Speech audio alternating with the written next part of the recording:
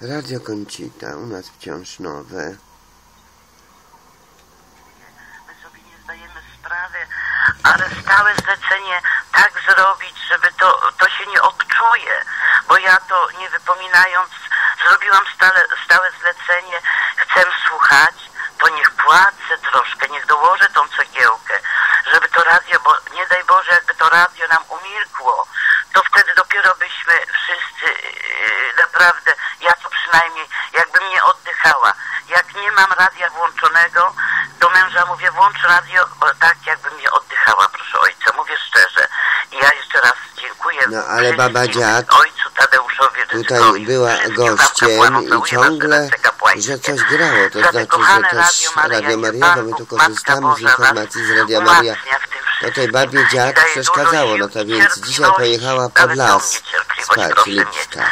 Życzę Pod las. wszystkiego, wszystkiego Ze szczurami. Tak, nie ludzie nie lubią czasem, proszę radia, tak się odzwyczaili.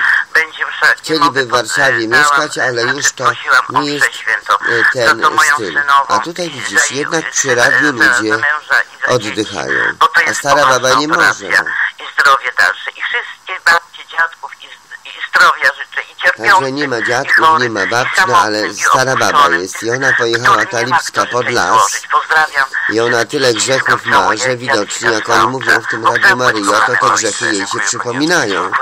I ona nie może tego ścierpieć i lepiej, żeby spokojna noc była, bez, bez radia, nawet tak cichutko, mówię cichutko, tak jak matka, jak ulula i że ulula i że nie, babie przeszkadza wszystko i ma taki słuch, oczywiście nie artystyczny, tylko taki słuch dosłowny, że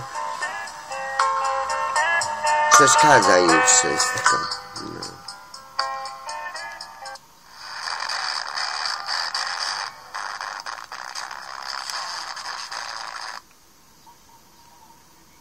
Radio Tok FM Eurokoncita Barbie, Baby, Langstrom Extra. No jak radio, to muszą być trzaski.